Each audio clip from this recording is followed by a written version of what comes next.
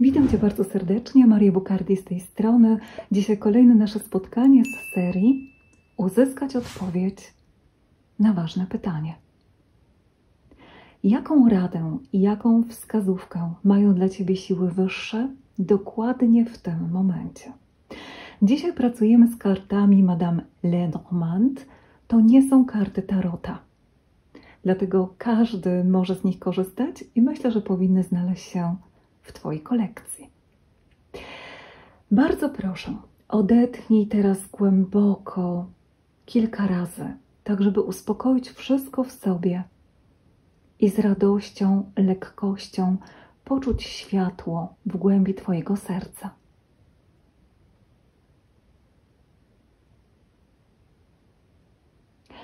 Teraz zadaj w myślach pytanie, na które pragniesz uzyskać odpowiedź. To może być pytanie o kolejny czas, na co uważać, na co zwrócić uwagę, co powinnaś, powinieneś teraz wiedzieć, ale może to też być odpowiedź na konkretne pytanie, które masz w tym momencie. I gdy teraz zadasz to pytanie, to od razu popatrz na te trzy karty, karta numer 1, 2 i 3 i wybierz najlepiej tylko jedną z nich, tą, która najbardziej Cię przyciąga. Czyli zadaj teraz w myślach pytanie, a następnie wybierz jedną z kart.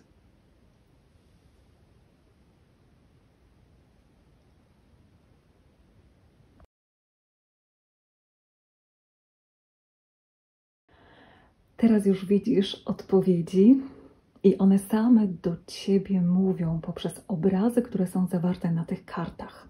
Więc zastanów się, co karta, którą wybrałaś albo wybrałeś, może dla ciebie oznaczać. A ja rozpoczynam opowieść.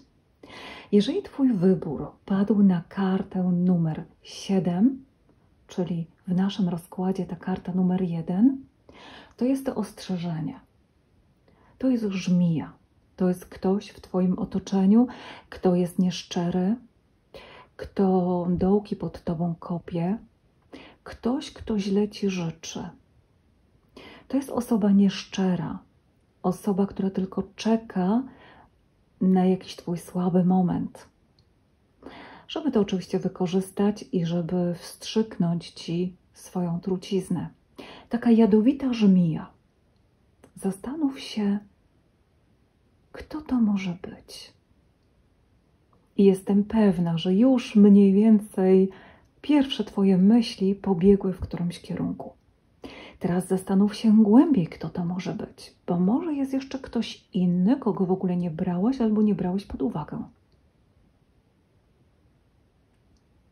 Pamiętaj, jeżeli nie masz pewności, czy to ta osoba źle ci życzy, możesz skorzystać u mnie z przepowiedni na mojej stronie mariabukardi.pl w zakładce konsultacje. Tam jest przepowiednia tak albo nie. Bardzo prosta odpowiedź. Otrzymasz tylko jedną odpowiedź, czy to jest ta osoba, czy też nie. Osoby, które źle nam życzą. Jest takie powiedzenie, bardzo, bardzo stare powiedzenie, y, które w takim luźniutkim, luźniutkim tłumaczeniu dla Ciebie przedstawię, to są słowa cesarzowej Austrii. Ona kiedyś powiedziała coś takiego, że największym niebezpieczeństwem są jej własne damy dworu. Co to oznacza? Że zazwyczaj są to osoby, które dobrze nas znają, które znają nasze wszystkie słabości, E, które znają nasze namiętności, one są zazwyczaj dla nas największym niebezpieczeństwem. Ponieważ jeżeli ktoś mało o nas wie, to ma tylko ograniczone możliwości, żeby nam zaszkodzić. Ale jeżeli ktoś dużo o nas wie, no to tych możliwości ma coraz więcej. To jest tak, jakby złodziejowi dać klucz do własnego domu. I jaka jest rada z tej właśnie karty. Że czasami milczenie jest złotem, a mowa jest tylko srebrem. Że lepiej zachować pewne rzeczy tylko dla siebie. Nie mówić o wszystkim. Nie mówić o wszystkich swoich odczuciach, ale przede wszystkim nie mówić o Twoich planach. Bo jeżeli ktoś dokładnie zna Twoje plany, na przykład teraz na nowy rok, albo jakieś plany na kolejny czas, i zna do tego Twoje słabości, to może Ci porządnie zaszkodzić. Wiesz, ja miałam taką sytuację w moim życiu, że przez wiele, wiele lat była pewna osoba, która wypisywała na różnych forach internetowych okropne rzeczy na mój temat. Taki, taki hejt poniżej pasa po prostu. I w takiej mojej pierwszej fazie, gdzie dopiero zaczynałam to moje życie publiczne, to myślę, jak każdy z nas, byłam taka bardzo wrażliwa na, na wszystkie jakieś um, hejtujące mnie komentarze, bo jeszcze nie wiedziałam, że to jest normalne, że trzeba sobie z tym poradzić, że trzeba po prostu przyjąć to jako część Twojej drogi. No i wtedy próbowałam na te komentarze odpowiadać. No ale niestety, czym więcej odpowiadałam, to było gorzej. Wiele, wiele lat potrzebowałam, żeby, żeby dojść do pewnego momentu, gdzie nie reaguję na takie komentarze, nie patrzę na nie.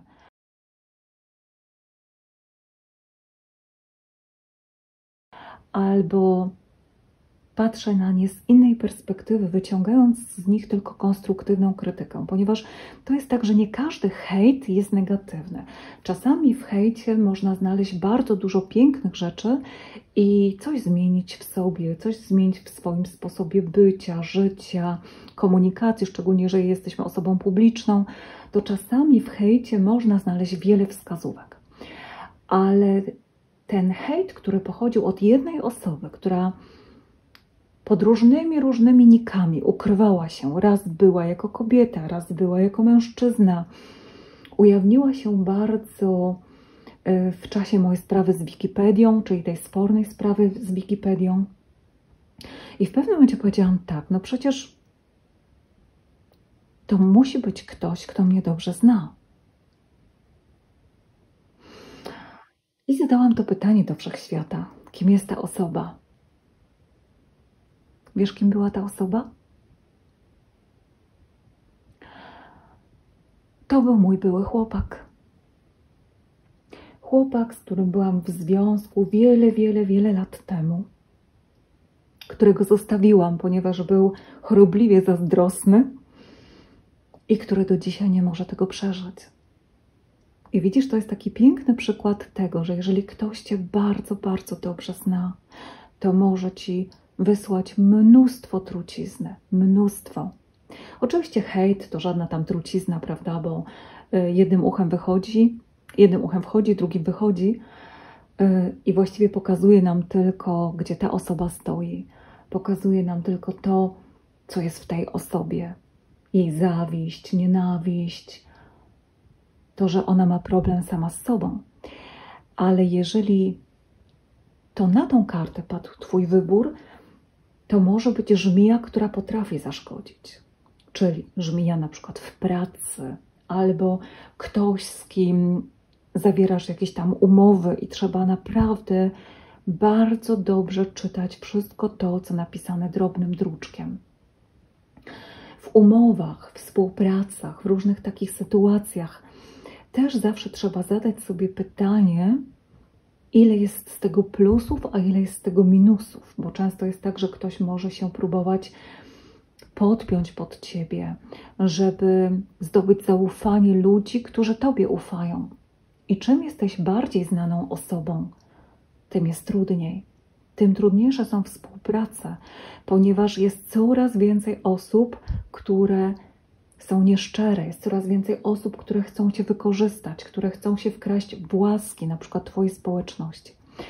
I czym będziesz bardziej znaną osobą, to będziesz bardziej eremitą i to jest normalne i naturalne. Albo będziesz się trzymać z osobami, które są na takim samym poziomie jak Ty. Dlatego, jeżeli Twój wybór padł na tą kartę, to nie znaczy, że trzeba się bać. To znaczy, że trzeba mieć oczy szeroko otwarte i być po prostu ostrożnym. Bo tak jak wchodzimy do dżungli i na przykład jest noc, to też, gdy się boimy, no to wiadomo, że drapieżniki nas wyczują i nas zaatakują. Ale jeżeli my wchodzimy do dżungli i jesteśmy po prostu uważni, czyli co tutaj szeleści, co tutaj się pojawia, patrzę, gdzie stawiam kolejne kroki. Popatrz, to jest wszystko bardzo symboliczne, co mówię w tym momencie. To możesz uniknąć wiele takich właśnie żmi, które wiszą gdzieś tam. No i po prostu, gdy ty je widzisz, to przechodzisz ostrożniej, zwracasz na nie szczególną uwagę i ona wtedy nie może tak łatwo się ukąsić niż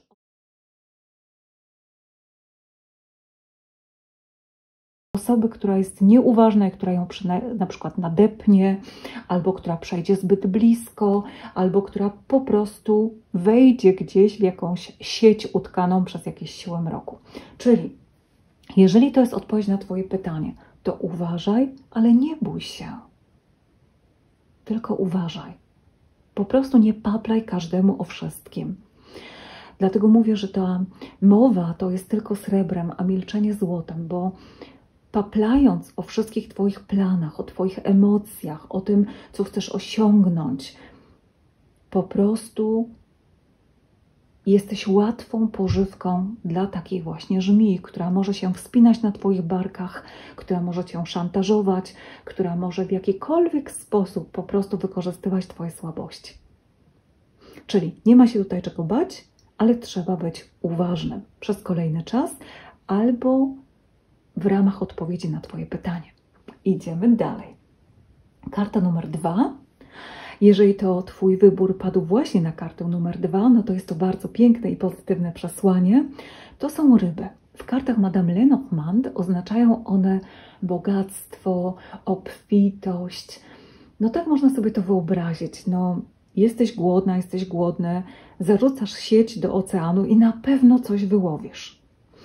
I jeżeli to właśnie ryby są odpowiedzią na Twoje pytanie, to jest to bardzo pozytywny znak, że właściwie nawet ślepej kurze ziarnko się trafi. Czyli jesteś teraz w takim flow, takim pozytywnym flow, że ten przypływ tego, co dobre i tego, co pozytywne, jest jak gdyby po Twojej stronie, czyli jesteś na wozie. Co to oznacza? Że to jest czas, żeby działać, to jest czas, żeby się realizować, to jest czas, gdzie możesz odważnie iść do przodu, bo jesteś w tym dobrym momencie. Bogactwo i obfitość, oczywiście materialna i niematerialna, czyli wszystko, co dobre, płynie do ciebie. To może być coś zupełnie niematerialnego, ale to może być też coś materialnego. To jest czas, żeby się odważyć, to jest czas, żeby działać i to jest czas, żeby się otworzyć przede wszystkim na tą obfitość wszechświata, również w sprawach finansowych. No i jeżeli Twoją odpowiedzią jest karta numer 3, hmm, no to mamy tutaj drugie dno. Karta ta bowiem oznacza albo coś, co jest związane z Twoją wiarą, czyli otrzymasz to, w co wierzysz. Czy to jest pozytywne, czy to jest negatywne. Ale to jest również karta związana z połączeniami karmicznymi, czyli karmiczne związki mogą nas blokować. Karmiczne różne obciążenia mogą nas blokować. To może oznaczać także konieczność oczyszczenia Twojej linii krwi, Twoich przodków, na przykład linii żeńskiej, linii męskiej, ponieważ tutaj skrywają się rzeczy, które są niekoniecznie pozytywne. To nie jest karta bardzo negatywna, ale karta, która pokazuje nam, że jednak mogłoby być lepiej, gdyby się udało oczyścić wszystkie takie właśnie karmiczne powiązania, związki, miejsca, ale także oczyścić to, w co wierzysz. I teraz moja rada. Jeżeli odpowiedzią na Twoje pytanie jest karta numer jeden, to z mojej tak zwanej oferty, w cudzysłowiu, najlepsza będzie dla Ciebie świeca, czyli rytuał świecy ochronnej, albo ogólnie rytuał siedmiogodzinny ochronny, albo rytuał 30-dniowy, ochronny, czyli typowo ochrona, żeby ta żmija nie mogła cię ukąsić. W tym przypadku idealna będzie również y, mądrość wyższa, czyli albo rytuał siedmiogodzinny mądrości wyższej Archanioła Jofiela, albo rytuał świecy intencyjnej mądrości wyższej, aby podejmować mądre decyzje i żeby widzieć wszystko. Jeżeli wyborem jest karta numer dwa, to tutaj idealne będzie tak gdyby kuć żelazo póki gorące, czyli rytuał świecy intencyjnej na bogactwo, żeby aktywować je jeszcze więcej. Rytuał aktywujące Twoje zdolności wyższe, bo dokładnie w tym momencie tego flow możesz dużo więcej i dużo szybciej osiągnąć. Również rytuały przemiany, czyli na przykład 7-godzinny rytuał przemiany albo rytuał świecy intencyjnej przemiany, będzie tutaj idealny, ponieważ w tym momencie należy działać, należy coś zmienić, zmienić coś pozytywnie. No i jeżeli Twoim wyborem była karta numer 3, to idealny będzie cały zestaw oczyszczania siedmiu poprzednich inkarnacji, czyli w zakładce rytuały świec intencyjny, rytuały świec intencyjnych masz e, rytuał albo jeden oczyszczania karmy, albo cały zestaw siedmiu poprzednich inkarnacji. Masz rytuały oczyszczające linię krwi, linię żeńską i linię męską. I tutaj, jeżeli czujesz, że coś cię ogranicza, coś cię w jakiś sposób blokuje, to wszystkie rytuały oczyszczające, czyli albo ten głęboki rytuał oczyszczający wszystkie sfery życia, albo rytuał odcinający konkretne sprawy lub osoby, albo ogólnie rytuał świecy intencyjnej oczyszczający. W tym momencie to jest ten najlepszy wybór. No i oczywiście we wszystkich tych trzech przypadkach idealne będą ceremonie ze mną, czyli na mojej stronie bukardimaria.com w zakładce ceremonie. Masz dwa rodzaje. Jeden poziom od 1 do 199 i drugi poziom powyżej 200. Każda ceremonia jest na inny temat. To jest uroczysty wykład w uroczystej formie, gdzie każda porusza inne aspekty. Co najlepiej zrobić? Najlepiej wejść na tą stronę i rolować sobie poszczególne numery i może jakiś numer Cię przeciąga, może temat jakiejś ceremonii Cię przeciąga. Pamiętaj, że jeżeli masz dostęp na 6 dni za 33 zł, masz dostęp do wszystkich wykładów, czyli ponad 200 godzin. Możesz sobie wybierać, który chcesz. Tak samo, jeżeli masz dostęp na miesiąc za 111, tak samo masz dostęp do wszystkich jeżeli masz dostęp na rok, to masz również dostęp do wszystkich wykładów przez cały rok i dodatkowo jeszcze do e-booków.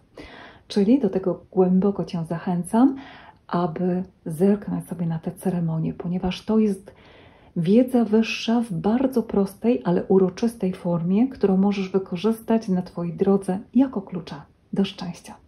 A my widzimy się wkrótce. Do zobaczenia, do usłyszenia. Twoja Maria Bokardi.